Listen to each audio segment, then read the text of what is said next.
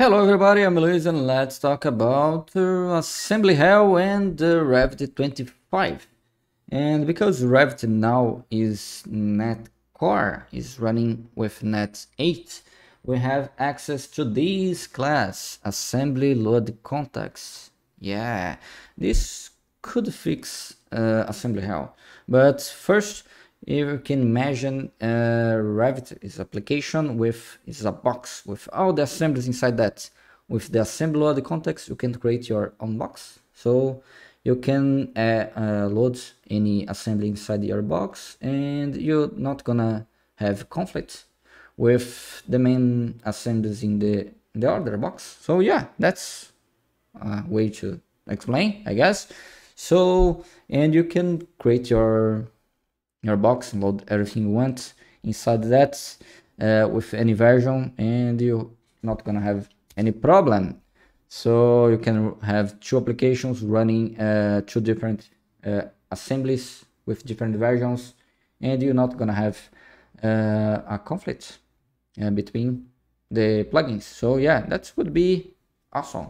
But by default Revit uh, loads everything in the in the default context. That's the context ID zero. So if you can look, everything is zero, zero, zero, zero. And if I go in the first plugin, what is it?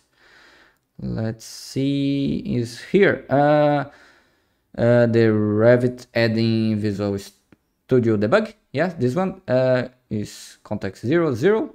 It is the Y for that uh, plugin. And then I have the RevitLookup that I was messing around. And now I'm forcing this version 0 but this one is version 1 it's ID 1 actually. And all this uh, is running inside uh, my context that I created just to make sure that I'm gonna load the version 8 for the Microsoft extension hosting uh, dependency injection and yeah. Uh, by default cannot run with version 8 in Revit 25 you need to use version 7 if you are running in the context 0 so but yeah but I'm running the in my own context. So yeah I can do whatever I want.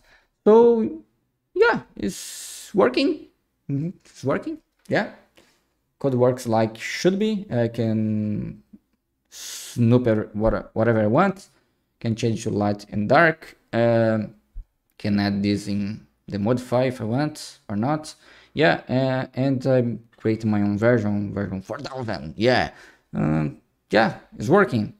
Should be using this. Yeah the code is really sketchy uh, because yeah I can see I need to because Revit load in the default context I need to create my own uh, forced to use that one so yeah every time Revit uh, talk with my application I need to point to another one. Yeah it's really sketchy the code.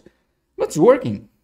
Yeah uh, would be ideal if you Revit by default uh, or optional I don't know uh, to load uh, the add-in with each one with his own context. So so you can do whatever you want inside that context. So this would be the ideal world. Yeah maybe next version. If Autodesk have some fun to do that. But yeah uh, at the moment this is just for testing. Yeah i'm gonna take a look if i didn't find any strange problem with this. And probably gonna create a pull request maybe. Don't know if it's a good idea. But yeah this is uh, just a proof of concept to make to test if this uh, assembly load context works to create your own uh, context. Yeah and or application. And load whatever you want in that. So yeah. So that's it for this video. Uh, thanks for watching. If you don't forget to subscribe and give a like this video share and see ya